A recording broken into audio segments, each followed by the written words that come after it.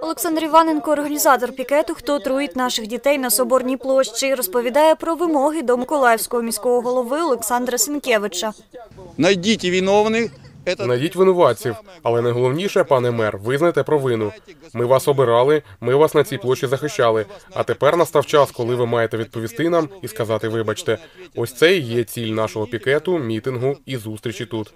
Зі слів пікетувальника, вибачення мера та визнання провини за маргариновий скандал на міських телевізійних каналах необхідне, щоб відшкодовувати матеріальні збитки постраждалим від неякісного харчування в навчальних закладах. Он три дня говорил нам, рассказывал о том, что Він три дні розповідав нам, що це все підлаштувала національна поліція, підмінила пачки маргарину. Ми всього лиш чекали від нього двох слів. Містяни, вибачте.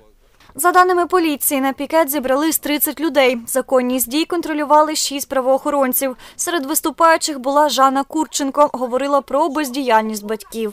Там есть система, да, схема, по которой эта схема работает. То бишь человека убрали, С- Сенкевич привел своего, поставил и все. То бишь возглавили это дело и продолжают так же делать, как и было. Меня удивляют родители, почему не приходят родители и не возмущаются. Неужели дети, это ну, для них ничего? Почему боятся? Чего боятся? Травят детей, потом мы по всему городу, по всей Украине, собираем деньги, там, онкологически больной ребенок, там еще что-то, еще. Почему это происходит?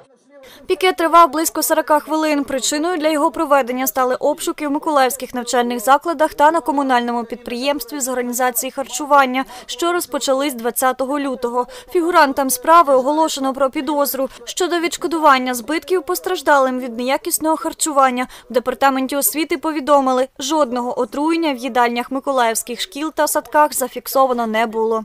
Катерина Балєєва, Юлія Кускова, телевізійні новини Миколаївщини.